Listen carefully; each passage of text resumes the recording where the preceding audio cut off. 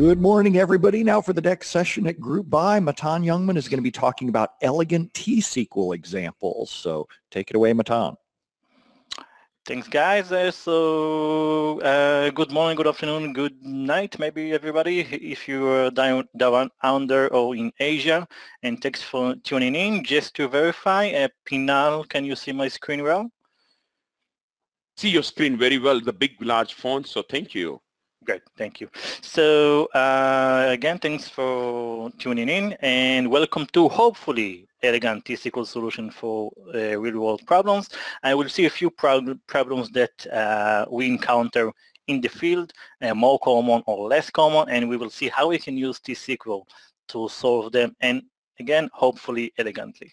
So a few words about me. My name is Matan Yungman. I live in Israel. Uh, I work for Madeira Data Solutions and I uh, I'm a data platform VP. I write on Twitter from time to time, sometimes good things and sometimes rants about the fact that I need to write a triggers or a cursor inside a trigger or something like that. And I co-host SQL Server Radio with, with my good friend Guy Glanzer. Uh, it's a podcast for SQL Server professionals. Um, we talk a lot about technical stuff and community stuff and the future of the DBA and so on and so on. We, we release two shows a month. Uh, if you know Hebrew, we also have the Hebrew version. So if you haven't checked it out, uh, please do. And let's start with the first scenario. And the first scenario is maybe one of the less common scenarios in our industry, and it's about queues. So uh, we have a queue of uh, people in that case, uh, but obviously we can use a queue uh, in computer systems as well. Uh, now, usually um, SQL Server won't necessarily be uh, the first choice or the best choice to implement a queue. Uh, usually you may want to use uh, external systems like, like some messaging system or RabbitMQ or stuff like that. But sometimes you will want to implement a queue in SQL Server uh, for all kinds of reasons.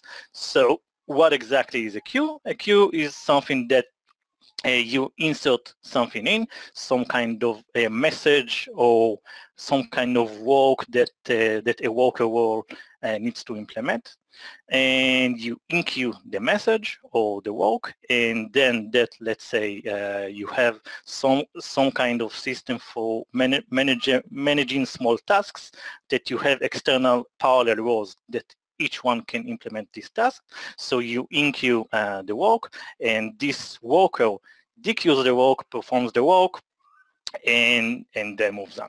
So how how can we implement that uh, in SQL Server?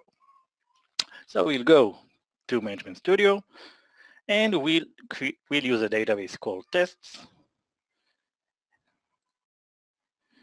And we'll create a table called FIFO which will have an ID of uh, identity and a message or uh, with a type of varchar max.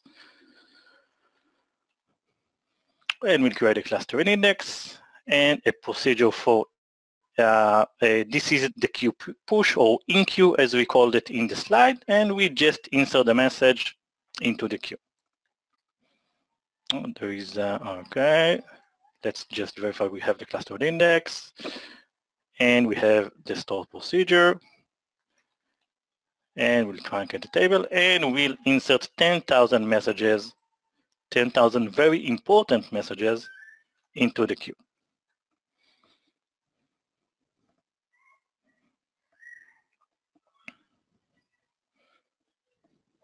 And we just let it finish.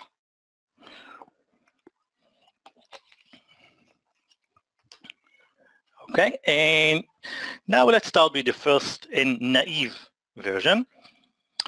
And the way to perform a, a pop of the uh, queue pop or a, or a dequeue uh, is that we will delete the message so so that uh, no other worker can take this message and, and perform this work because only one worker performs one task at a time. And, and in, atomic operation, we will delete, uh, delete the message and using the output clause, we'll get this message uh, to ourselves and work on the task. And since we have a FIFO queue, uh, first in, first, first out, what we will have to do is that we will have to take the first ID, the oldest ID that is in the queue, uh, in order to, uh, again, to work in, in queue. So this is the procedure, or this is the first version of the procedure. And now we will go to a SQL query stress and execute the procedure from two, uh, 200 threads, and each thread will perform 10 iterations of this procedure. so a total of 2,000 executions of this procedure. And we will hit go. And this procedure starts to run. Let me give it a few more seconds. And we can see that over here, at the total exceptions, we can see that we have many, many, many exceptions. And if we uh, if we hit here, we can see that everything is uh, we get deadlock for pretty much every every iteration of this procedure. And if we go also to Management Studio, and execute a query uh, on uh, this is a very uh, long query but the essence of it is to is to show uh, is to go to sys.dm_os_waiting_tasks and see which session is blocked and which sessions uh, block him. And we can see that uh, pretty much we have tons and tons of, and tons of sessions that are currently waiting.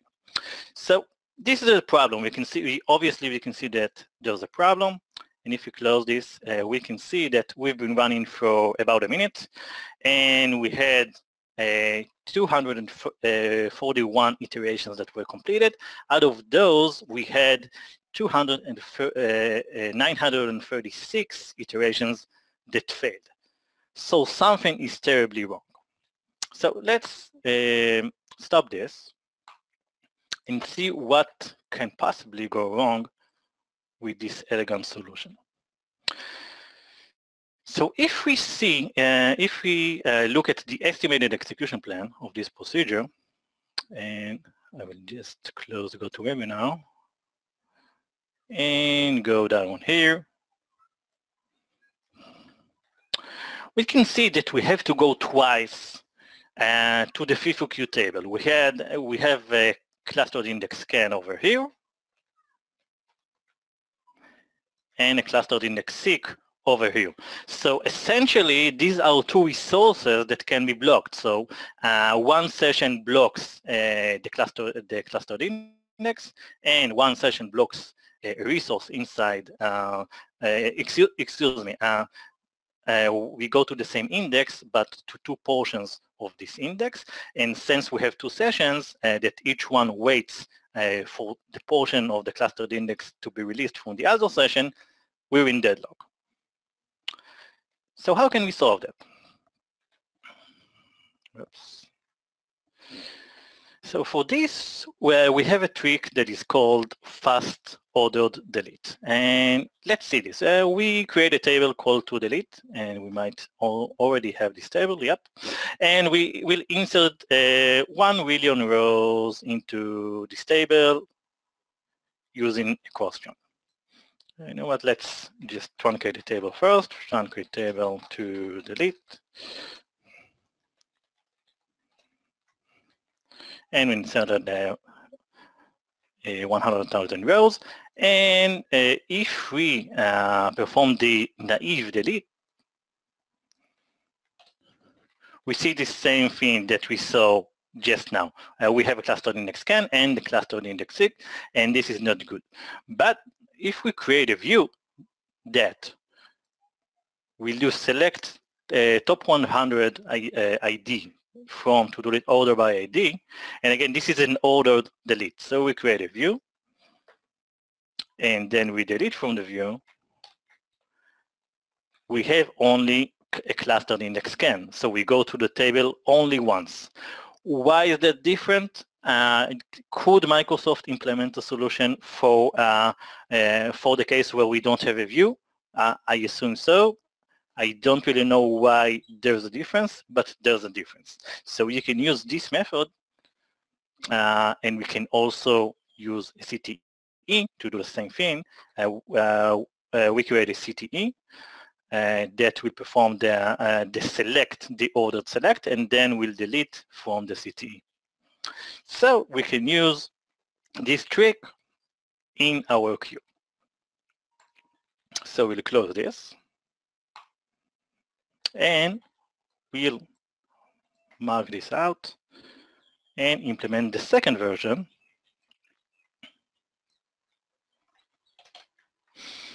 Oh, actually, that was the first version. I'm sorry about that.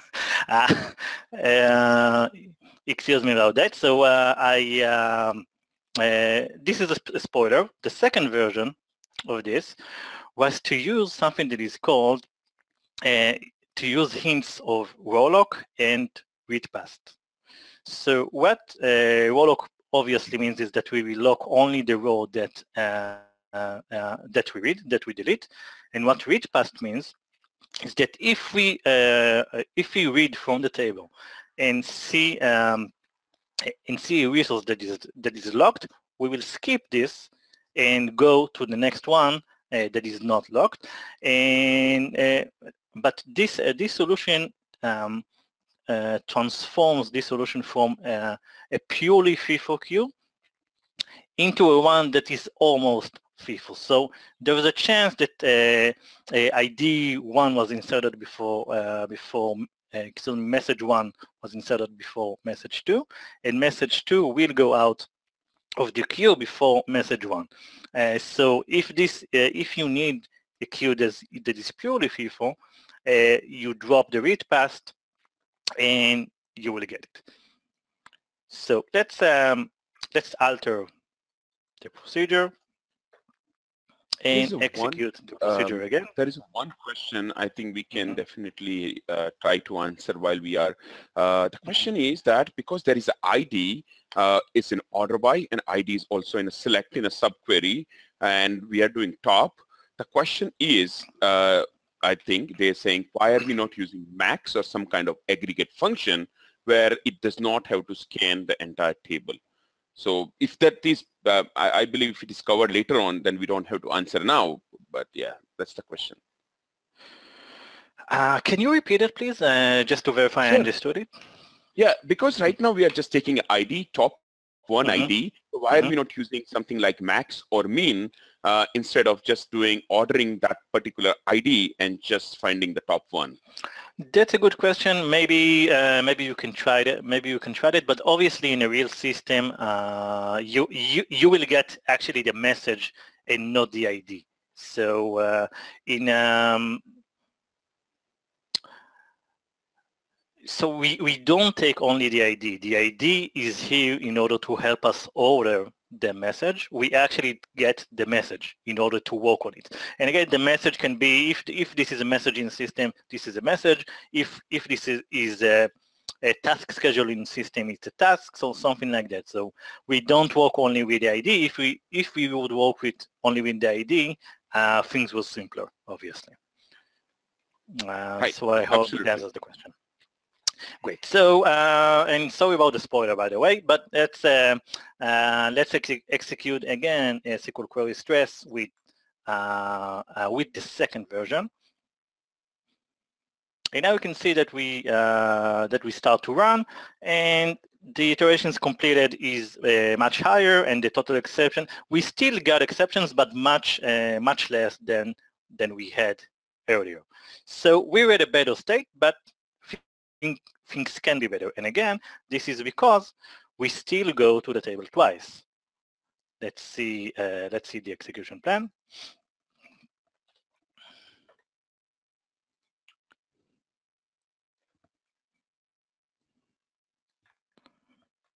So we still have a clustered index scan and a clustered index scan. Again, because we don't have the fast order delete trick, we go to the table twice, once for scan and once for a seek, and uh, things are obviously uh, not as good as they can be. So now we will use the spoiler version. This is version 3. We, uh, we have a CTE that performs that select top one message from the queue using row lock and the read past. And, and again, if you if you need a strict FIFO, uh, FIFO queue, you drop the read past, order by ID, and then you delete from the CTE and use the output clause in order to get a message.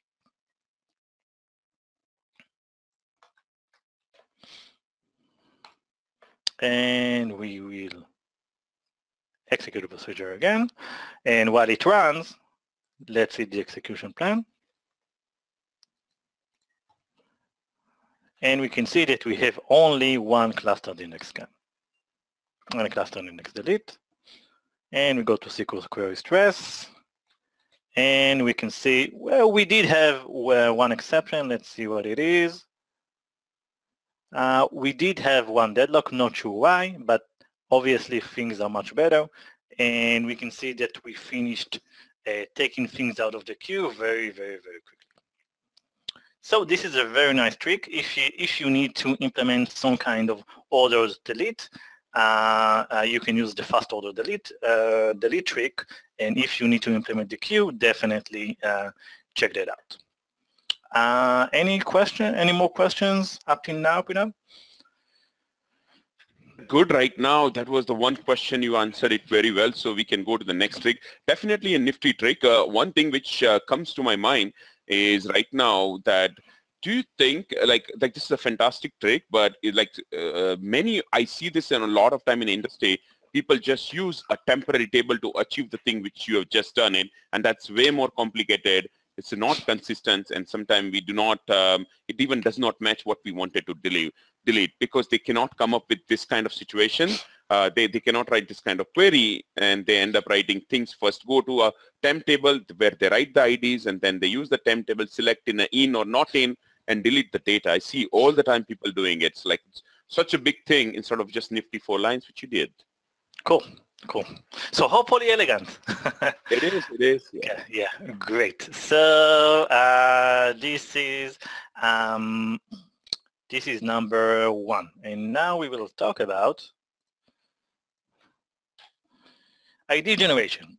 So um, we have all kinds of uh, all kinds of situations where we need to generate an ID and then we turn that to the client. If, if, if you have a, single insert, a procedure that inserts a row and then returns that to the client uh, in order for the, uh, for the client or the calling procedure to insert this ID into other tables and so on and so on.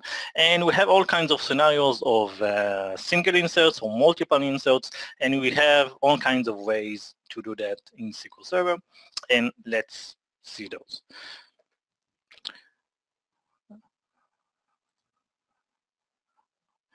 Okay, so uh, the first way is obviously uh, the most known, I guess, and it's called identity. So we will create a table called table with identity. Uh, ID int, identity starts with one, and the increment is one. And we have a procedure that will insert to the table, and the procedure will insert to the sum column column, uh, will insert the value something and return the inserted value uh, to the identity column using select at at identity. And we will uh, execute the store procedure. And we can see that we start again in one, two, three, four, five, six, seven, and so on and so on. Now, uh, uh actually there's a problem with this solution and let's see what the problem is. Let's say uh, we create another table with identity and from the first table uh, when we insert a row uh, to the first table uh, a, a row is inserted into the second table.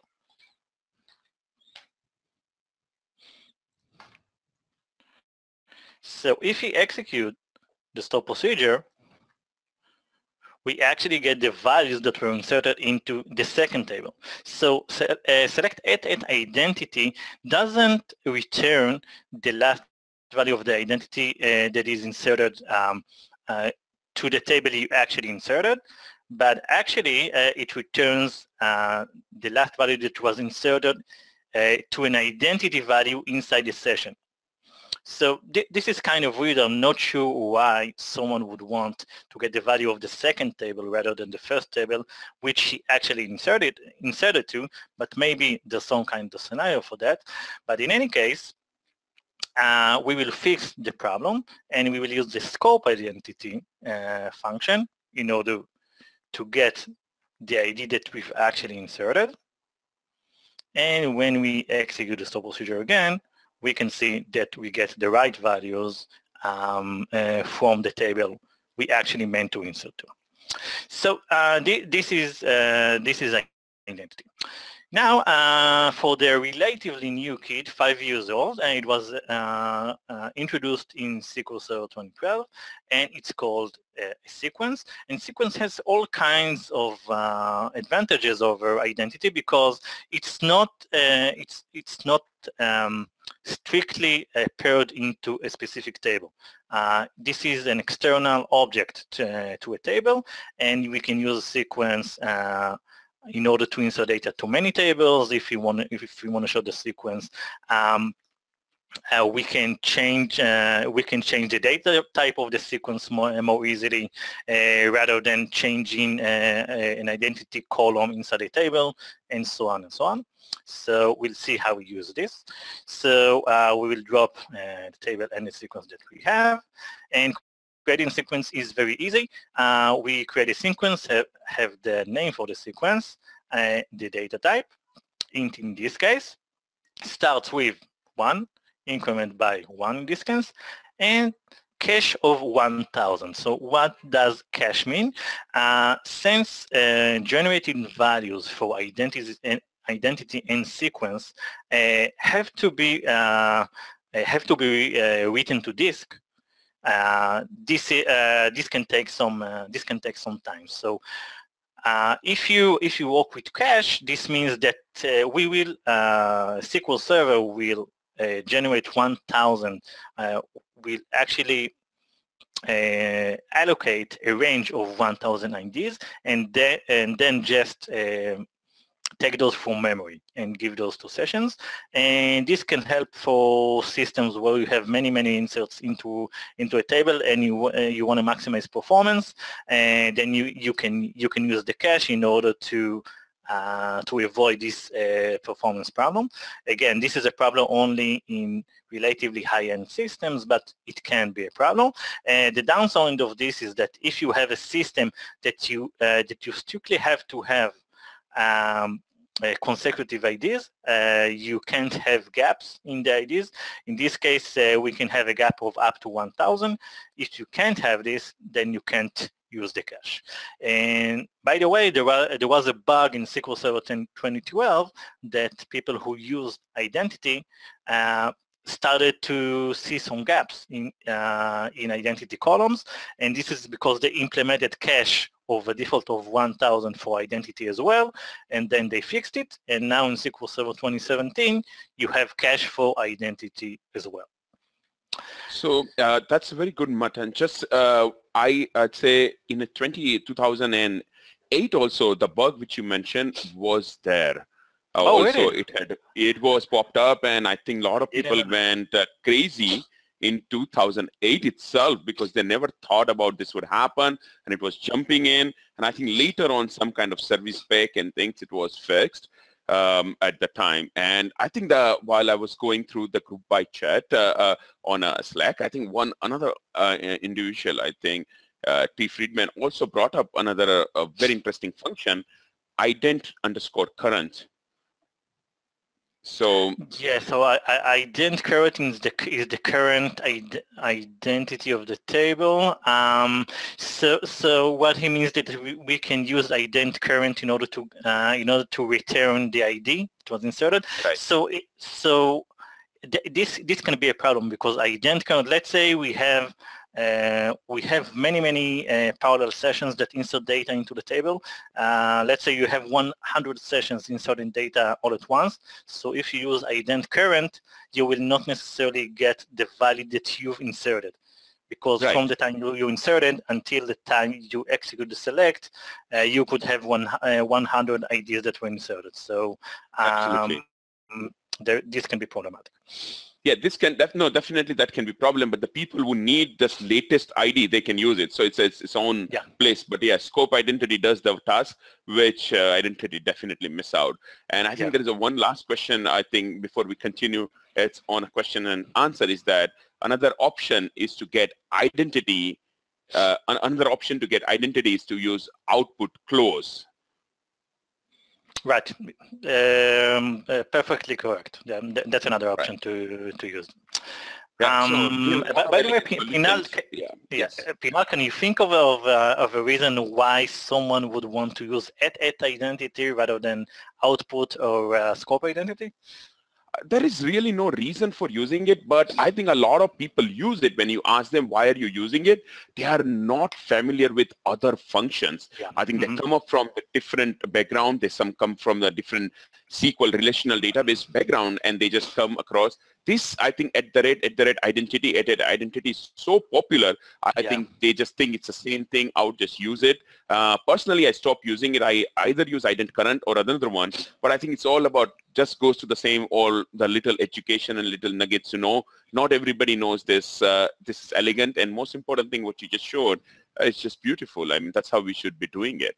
Yeah, great. Uh, uh, yeah, for, for some reason, the, the first function that people know about about identity is at-at identity and not scope identity. I, I wonder why. Um, it was the same case for me.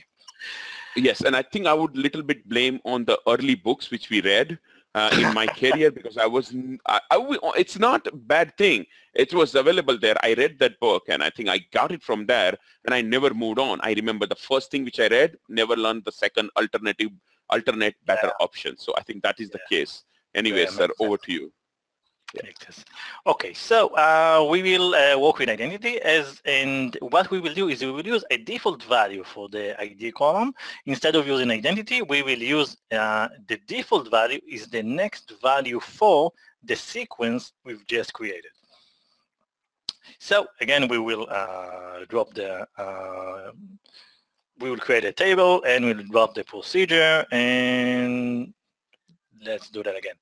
Um, well, I guess we haven't created a sequence. So let's create it. And we will drop the drop and create the table again and drop and create the procedure again. And again, we insert data to the table and then uh, and we, we declare the ID as next value for the sequence, and then we insert data into uh, into the table, into both columns, the ID and the sum column column, and then we just select the ID. Obviously, we didn't have to insert data into the ID column because this ID column has a default value. So we, we can use whichever we want. We can either use a default value at the column level or grab the next value into, uh, into a variable and insert into the table. And we would execute the stop procedure and we can see that we have the value of 1 and 2 and 3 and so on. And so this is a sequence. Now just um, a little trick. Uh, let's say you work prior to SQL Server 2012 and you want to implement a sequence without a sequence uh, because you have a few tables that you want you want them to share the sequence value and, and you can't do that obviously in SQL Server 2008 because you only have identity. So uh, what you can do is create a table, a sequence without a sequence, uh, and it uses an uh, identity, starts with one, uh, inc increments by one. And what you can do is, uh, since uh, identity is not, uh, isn't rolled back during the transaction, what you can do is you can insert uh, inside the transaction values to the table, and then you roll back, and then you you select scope identity, and you get the value that you've just uh, you've just inserted, and that way uh, you get a sequence without a sequence and keep the table uh, keep the table empty.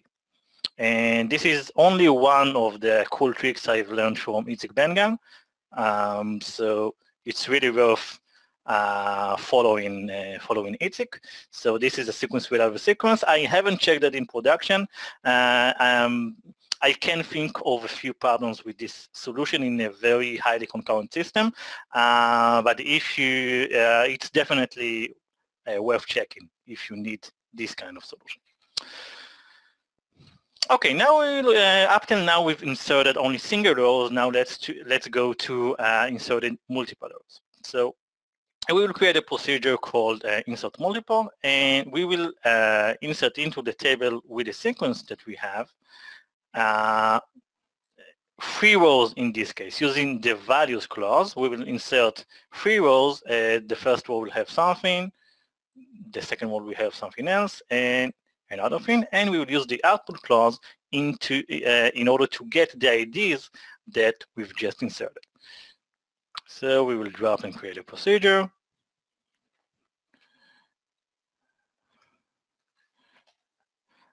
And execute it executed. And we can say that we have ID 6, 5, and 8. And now we execute it again. Oops. Something is wrong with ZoomIt. But when we execute it again, we can see that we have the next rows and so on and so on. So this is, uh, this is a way to insert uh, multiple rows uh, very quickly and get the IDs uh, out to the client very quick, quickly in order for the client to do, uh, to do whatever the client needs to do with it. Now what about inserts and updates? We, uh, we want to support both inserts and updates. So we have a few ways to do this.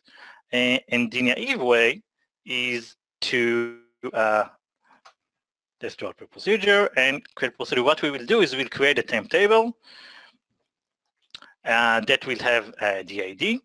And uh, then what we'll do it is we will we will we will update uh, the table. Uh, uh, we will join between. Um, ex excuse me, I, I forgot to say that we have we we have an external table that is called inserted values, and we will use these inserted values in order to update or insert rows into the target table. So uh, what we will do is uh, uh, in order to support both insert and update, uh, we, uh, we will have an update and get the updated values into IDs to return table, and then we will have an insert and using the output clause, uh, get the values into the IDs to return table. So again, uh, and we insert only uh, only values that aren't inside the, our target table, uh, obviously. And then we uh, we select star from uh, from our temporary table, which will hold uh, all of the inserted IDs. So we'll create a stop procedure. And we create a table of inserted values and insert two rows into this table. And now we execute uh, this procedure which supports both updates and inserts. And we can say that we got the IDs of 1 and 1000. And we execute again. And this is the update stage. But again, we see that we get the IDs of 1 and 1000.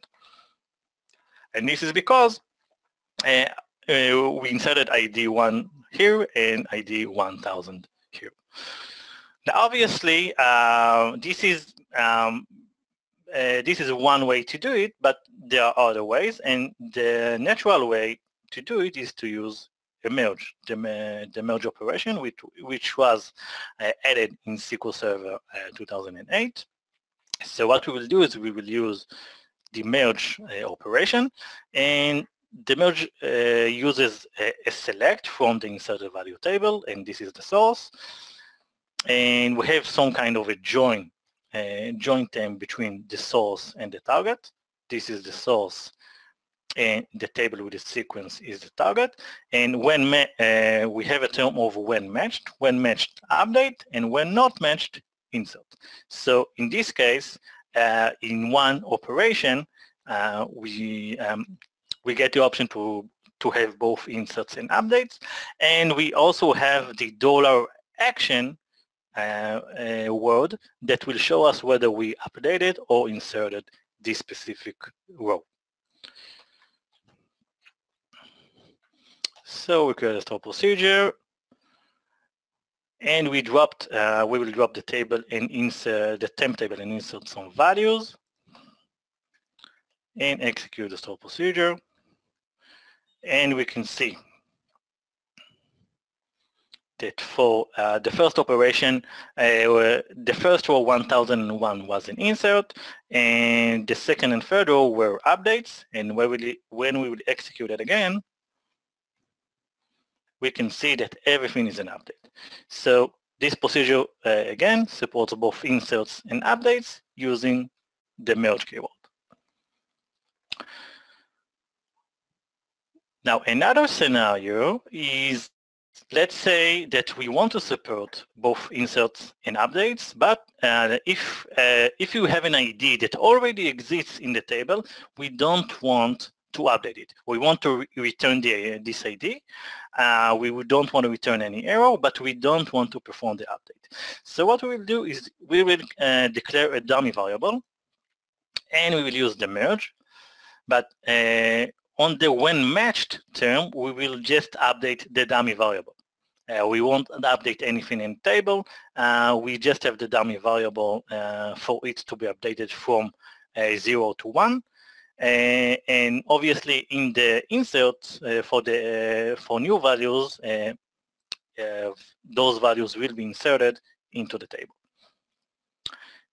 So again, we will generate some values and execute the procedure.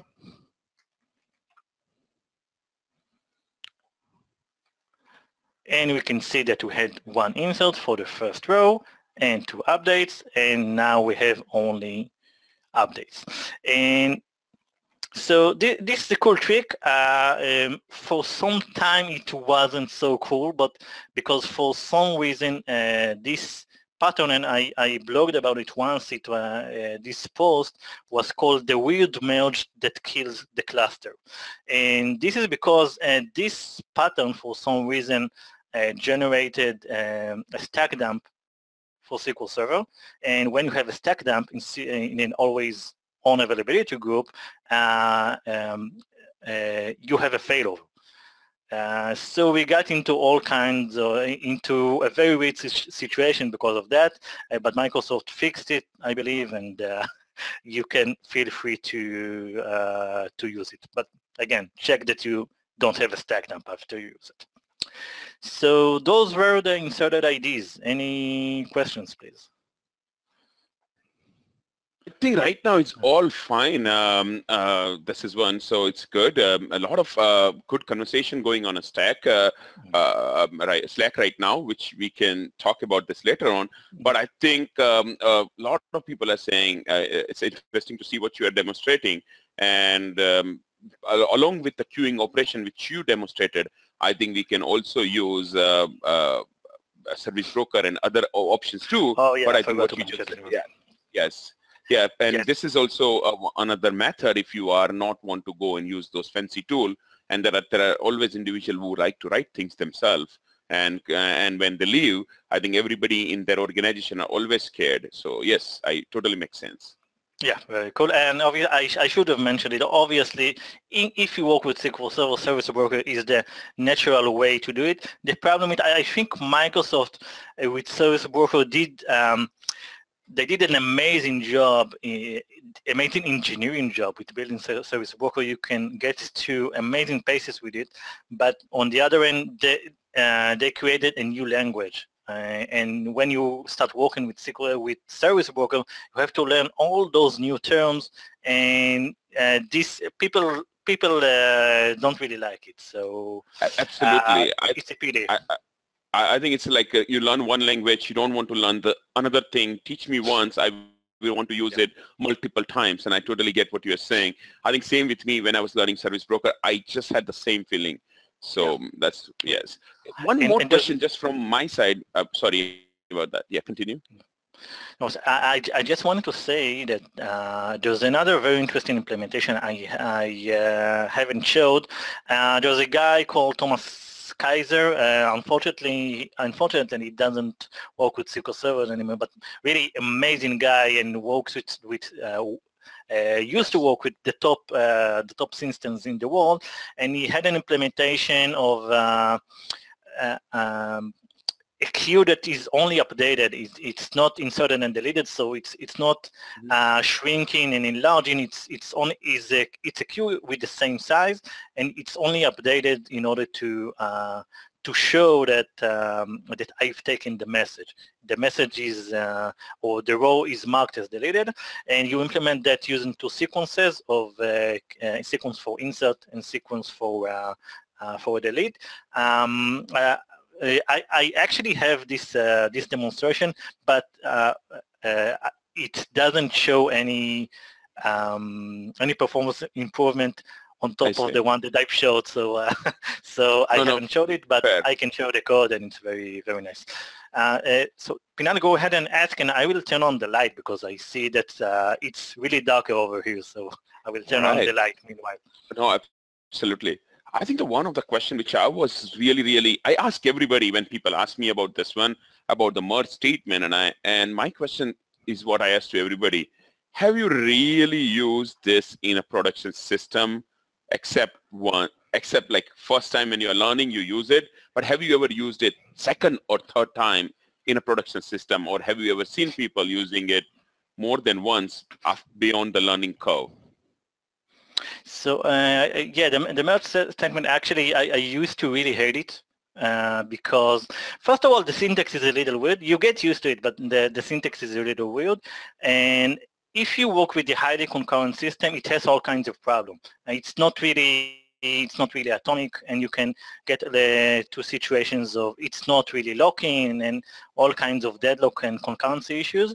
Uh, but for systems that uh, that are not uh, highly concurrent and mainly for ETL scenarios or scenarios like, like this. The, uh, this scenario is based on uh, on a system I've built for a client and the merge statement really came in handy. So since then I really like it, but you have to know when to use it.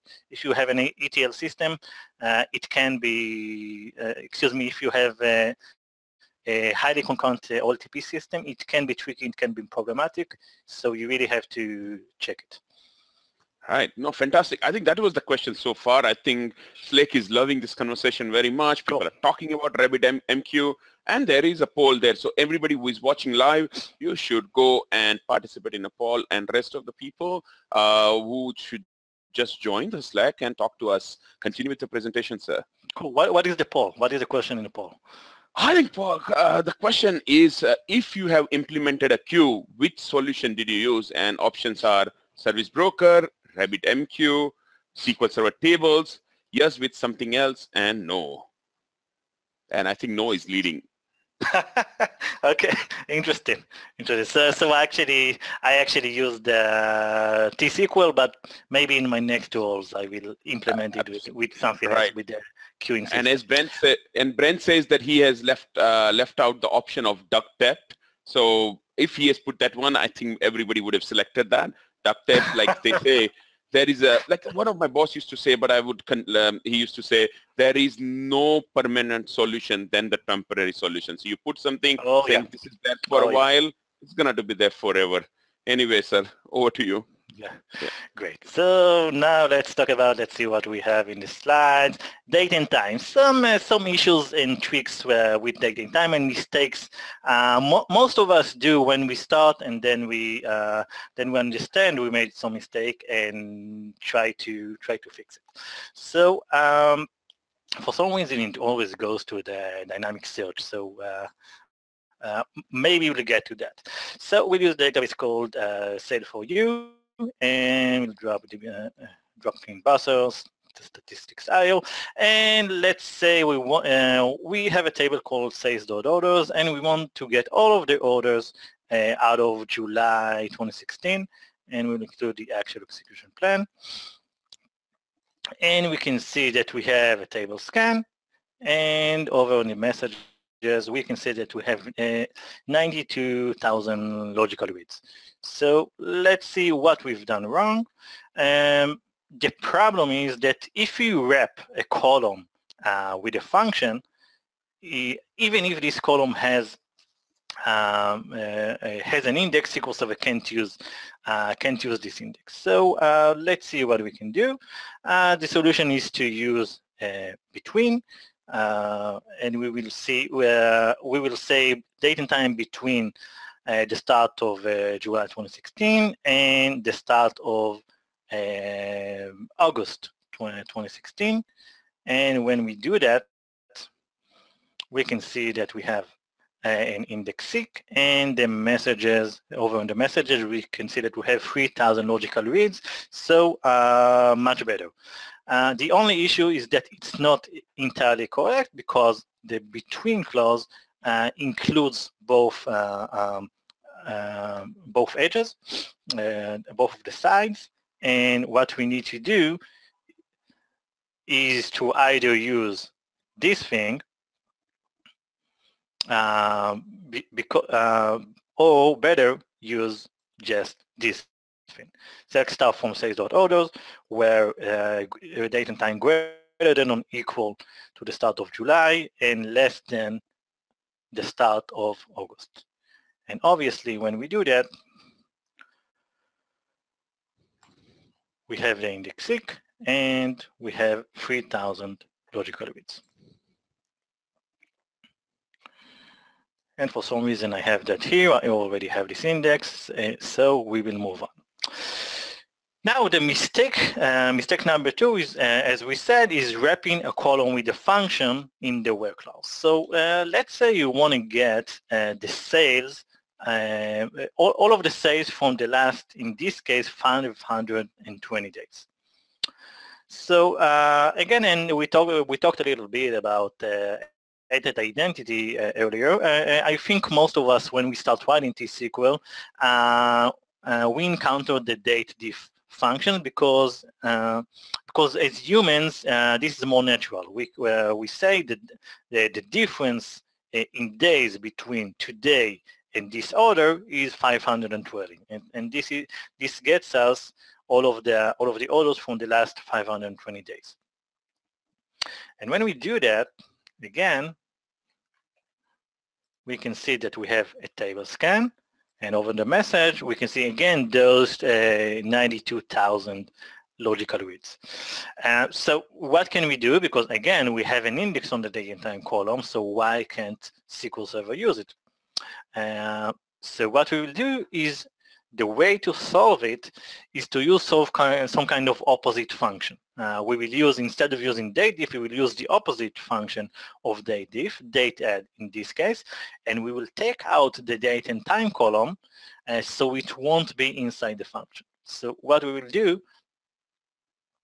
is say where, uh, where date and time is greater than date add day, meaning we will work in days, we will we will take uh, 520 days uh, we will we will take the uh, today and and uh, we do subtract 520 days from it. And this will get us this will give, give us the solution. So we get uh, the rows that we need. And in the execution plan we can see that we have an index scan instead of a instead of a table scan uh, we have, uh, excuse me, we have an index seek on the orders on, on the date and time column, the, on our index. And over at the messages tab, we can see that we have only 2,000 page reads. So again, much, much better. Moving on, how can we make it is, uh, even better? Uh, we can create, uh, we can add to the index that we already have, we have uh, the customer ID column. Uh, since we query for the customer ID column and it doesn't exist inside the index that we have, we can include it in an index. And when we do that and execute the query again,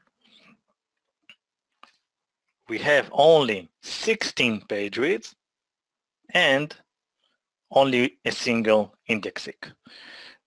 So again, we have uh, we have a few stages. First of all, uh, design, uh, write your queries correctly. Don't use uh, functions, excuse me, to uh, to wrap columns.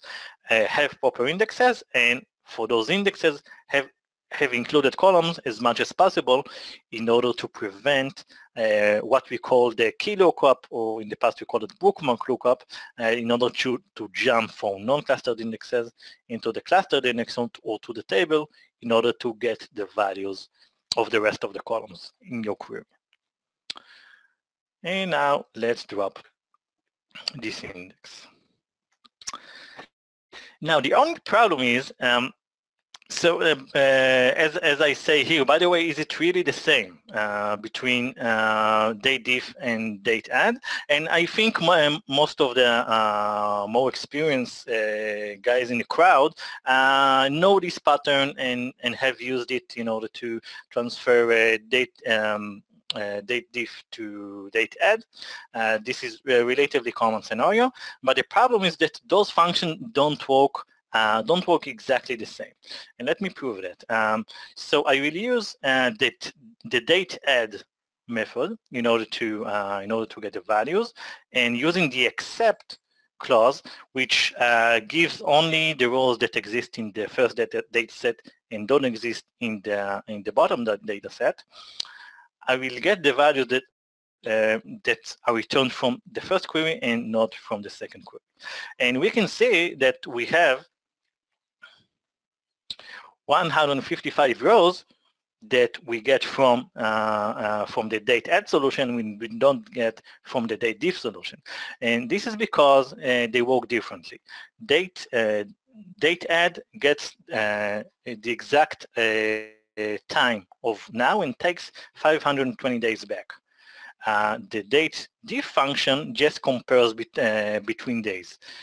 So it it treats uh, a day as a, as a one unit, and in some situations, uh, rows that that are close close to midnight or something like that will will get left behind, and and in making a, a, long story short, uh, we can get values that uh, we didn't think we will get or we didn't get when we when we used uh, the date diff solution. So it won't, in, in most cases in, it won't matter. But if you work in, in a situation where it does matter, uh, what you can do is uh, you have all kinds of solutions uh, and Guy and myself, uh, Guy is the CEO of Madeira and uh, in some situation we both uh, wrote, uh, wrote a post about date diff and date add at the same week. So you can you can uh, see Guy's solution. My solution is just to use both uh, uh, both terms, uh, both function in the uh, in the same select. So uh, the date add solution gives us the index seek, and the date diff solution gives us the quote unquote correct solution business-wise. So uh, if we if we see, uh, we can see that we have uh, uh almost 4,000 uh, page, page reads, but it's not the 90, 92,000. And in the execution plan, we can see that we have our indexing. So this way we'll get you both good performance and good results. Whoops.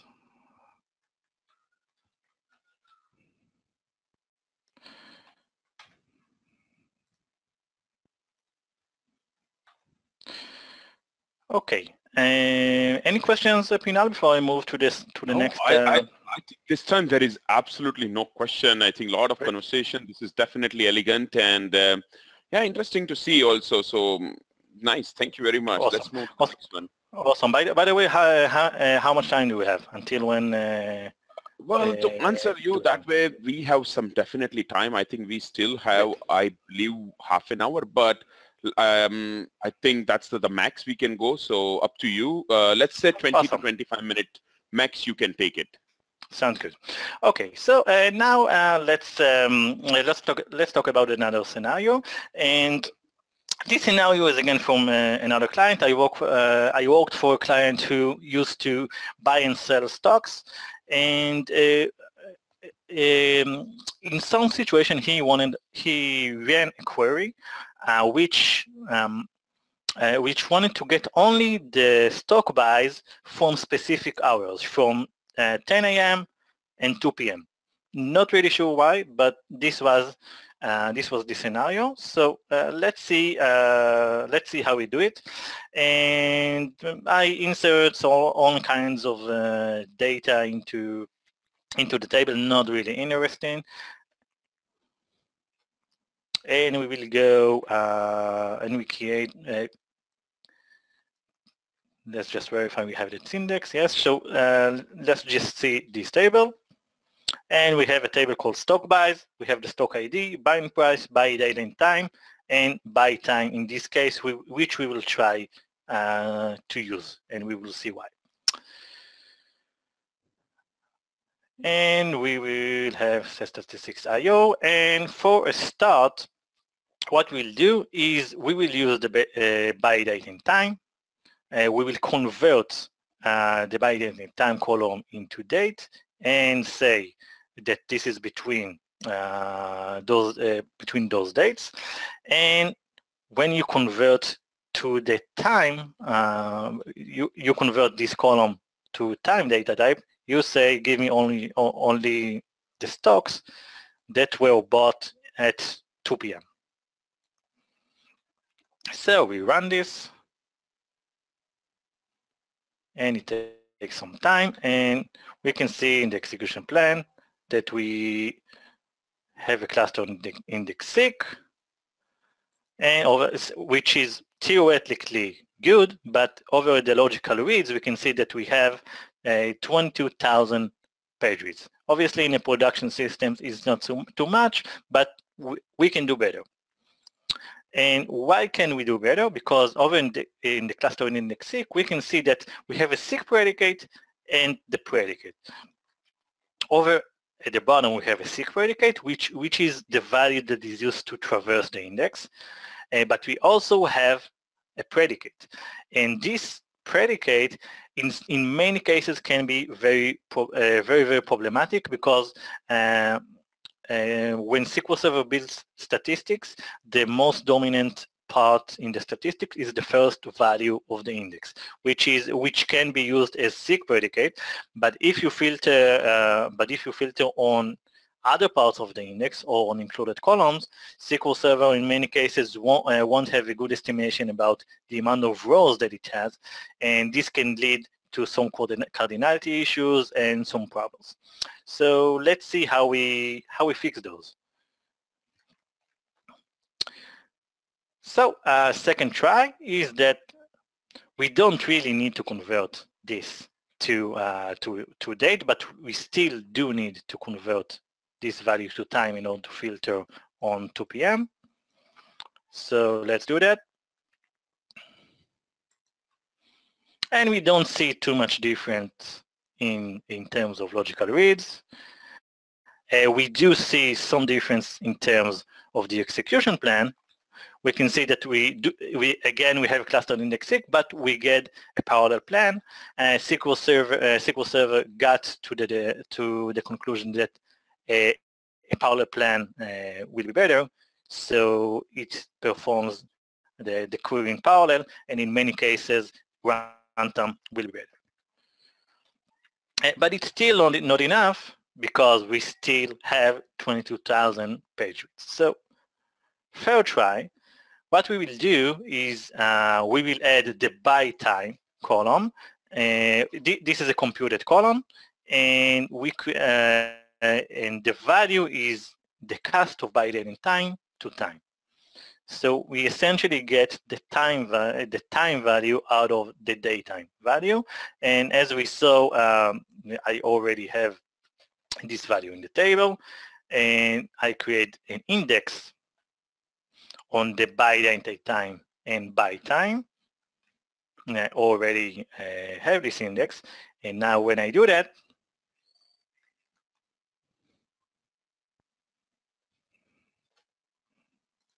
it doesn't have too much. And again, because SQL Server couldn't know the exact value uh, of rows, the, the, exact amount of rows uh, uh, inside um, in, in each day we have many, many, many, many stocks and many, many rows that were bought. And since this value, uh, uh, the time value, is the second value in the index, SQL Server can't know that. And, and again, the plan is not good, is not good enough. Uh, because we have to read many, many, many rows, we have an index seek, we get to a specific day, but in this day we have to read a very big amount of rows until we get only to the rows that are at 2 p.m. So what can we do? Let's move on. We will use a date table. And a date table is just a table with all of the dates, in our case, uh, from the start of, I believe, 2010. And we have each and every hour. You know what? Let's, let's look at this table in our case.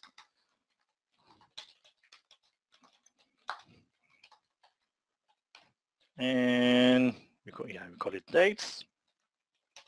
Order by uh, one two. And we can see that uh, this is from the start of 2010. And uh, as I said, um, uh, this is actually all, all of the minutes from uh, uh, all of the minutes from the start of uh, 2010 and until 2020, something like that. So a date table can help us uh, can help us do that because for each and every uh, hour or minute we will have only one row in the table. So if we go on this table we will very very quickly filter many many many rows out and using this table and using a join we will we will get very very fast into our actual table, our stock buys table, and since we've uh, already uh, mitigated many, many, many rows out, query, the query will be much faster and we will read many less rows. And when we do that, again, what we, what we do is we join between the uh, stock buys table and the dates table on the datetime, on the datetime column.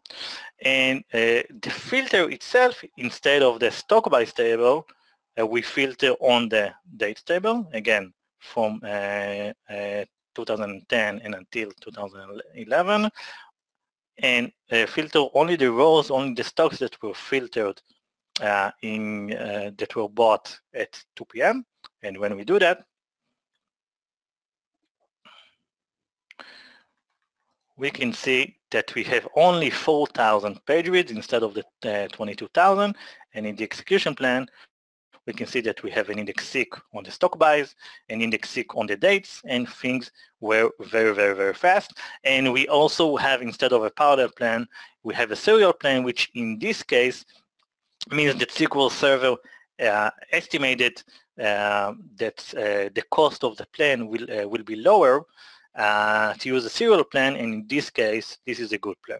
Now, we, uh, there's all kind of debates about a parallel plane good or bad. Uh, in uh, obviously, in many cases, it's uh, it's very good, but in some in some cases, it just says that uh, the query isn't written uh, good enough. So in this case, we made the query uh, be written better, or or actually use more proper more proper tables or table structure, and we got a serial plan. In this case, this is a good thing.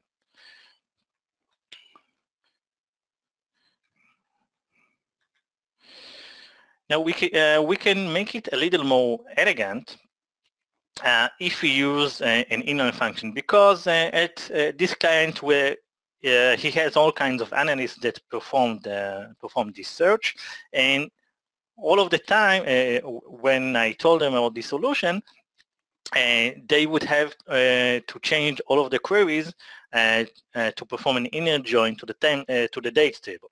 So what I can do is use an inline function. Uh, and what we do in, and why inline? Because the um, uh, table value function and scalar, scalar functions are very, very, very bad uh, because they work row by row. If I uh, execute a, a, function on a 1 million row table, we'll have to execute the function uh, 1 million times. On the other hand, if we write the, uh, the function as inline, it's essentially not a function. It's, it's just set-based uh, solution that SQL Server uh, can uh, can take and add that to the query, uh, and it still runs fast, and it gives us the opportunity and the benefits of uh, encapsulation and reuse uh, that that are good pro, pro programmatic skills, programmatic behavior. So what we will do is, as we say, that it return turn stable and just return uh, select one in this case uh, where date and time is equal to uh, the parameter of date and time and the date time is between date one and date two and the time is equal to the time. And when we run this function uh, we we run it using cross apply in order to get only rows um, that that have a match inside the function in this case and when we do that we both use a function and have uh, and have used an encapsulation, and we get good performance of 2,000 uh, or 3,000 page reads and a good execution plan. So this is dates and inline functions. Any questions, Pinal? Actually, question died. I think people are just getting things and uh, or maybe they are just um, grasping things much faster than we think. So I think we are good, but just keeping a time in a mind, we we should just go maximum of maximum of 10 more minutes. Okay, so I, we are, yes. No problem. So I, I, will talk about dynamic search uh, really, really quickly. I won't, won't get uh, into uh, very into the details, uh, but just wanted to talk a little bit about, um, let's say you have very, uh, some uh, developers or program managers that want a dynamic search screen. They want they want to filter the option to filter on, on everything or not filter on anything and stuff like that. So how can you implement that inside SQL Server? And so let's close this. And so what we will do is we will write uh, a store procedure called find products uh, dynamically. And the, fir the first solution uh, is to use um, the naive solution is to say something like this. Uh, the, uh, the, select part isn't very interesting. Uh, the interesting parts are that uh, we move, uh, we pass parameters, uh, parameter values for the, the parameters that we want to filter on. So I want to either filter on product ID or name or product number or color or any combination of the them. So uh, what I do is select uh, uh, select the values from table where product ID equals to the value of the product ID if if it's passed from the client. Excuse me. If it's not passed, uh, this uh, uh, this part of the query of all product ID is null if it's null, we just say don't uh, don't take this value uh, into account. Don't filter on the product ID. And this is the same for name, product number, and quota.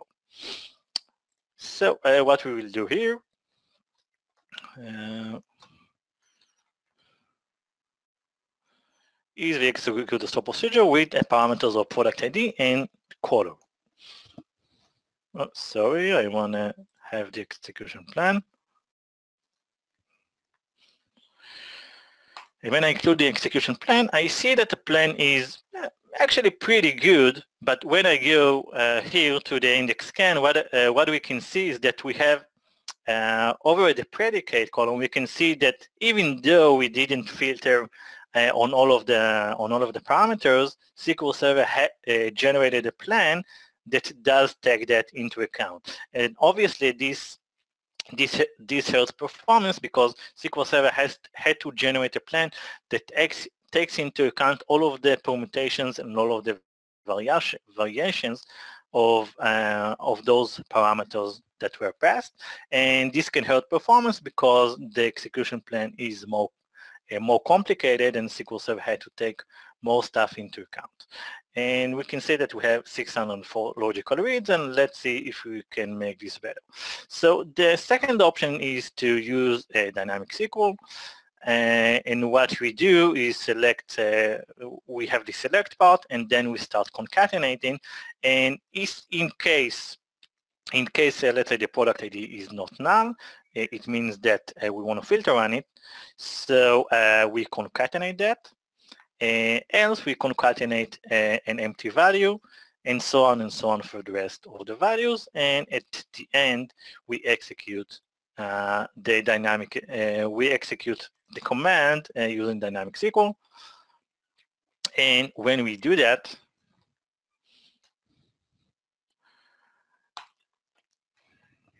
and go here we can say that we have a better execution plan that uh, took into mind the values that we actually passed to the stop procedure. Okay, so this is better, and let's see, and we have a plan of three logical reads. So this is much better uh, because when when you work specifically for uh, parameter values, you get a better plan rather than uh, uh generating a plan for all possible values.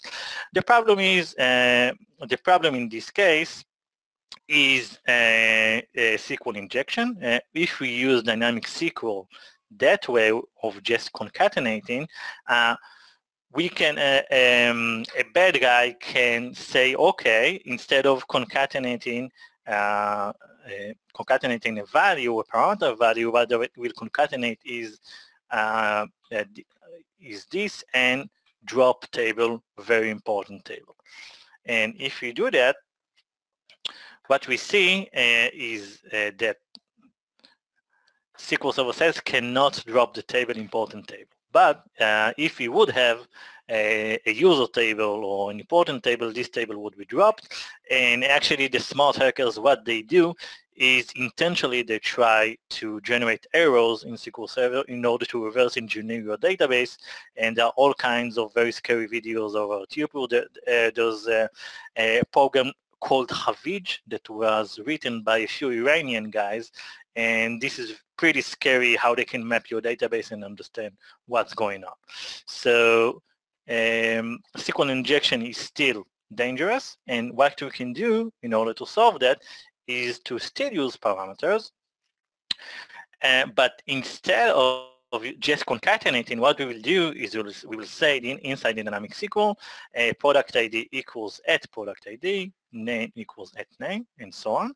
And use, instead of exec, we will use sp_executesql, which allows us to pass parameters and to, uh, and to reuse uh, the execution plan. And when we do that, and pass a value of, uh, so first of all, we can see that we get a good result when we, uh, in, in a good execution plan. And when we try to drop the important table, nothing happens because uh, because there is not a product number called drop important table. So if you if you want to uh, use dynamic SQL with uh, with a dynamic set screen, this is the way to go, and not just concatenate values. And the fourth option, uh, if you just want good performance and don't uh, don't want to uh, start concatenating values using dynamic SQL, which uh, can be a little hard to debug, what you can do is just return to the original solution and use option recompile, which is kind of magic because what option recompile does is tell SQL Server uh, generate an execution plan for this specific execution and this specific permutation of parameters. And when we do that, we get a good plan of three logical reads and a good execution plan which takes into account only the parameter values that we've just uh, that we've just passed. Uh, so option recompile is very good and very easy to work with. Uh, the only the only problem is if you uh, if let's say you work at Booking.com or at the ver a very high end uh, website, uh, if you have, uh, let's say, 1,000 such searches in a second, option recompile will generate a plan for each of those executions, and this this can start getting a little heavy on your on your CPU. So in this case, I would work with with dynamic SQL obviously the uh, the good permutation of dynamic SQL and so what we, it will do, it will generate a plan for each permutation, uh, but the number of permutation is re, uh, relatively capped. So uh, so at some point you will start to to get reuse of, of your execution plan uh, instead of just generating a plan again and again and again.